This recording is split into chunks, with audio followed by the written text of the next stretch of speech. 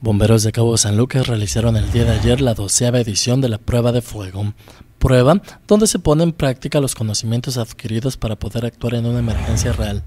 Cabe señalar que dicha prueba consta de seis fases en las cuales se ponen a prueba destreza, agilidad y fuerza.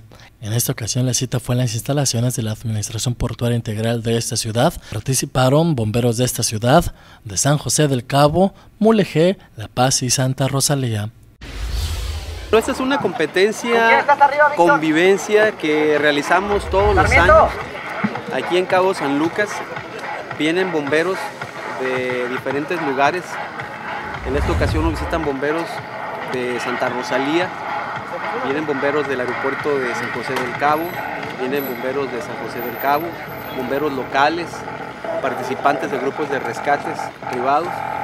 Y la intención es festejar anticipadamente lo que es el Día del Bombero.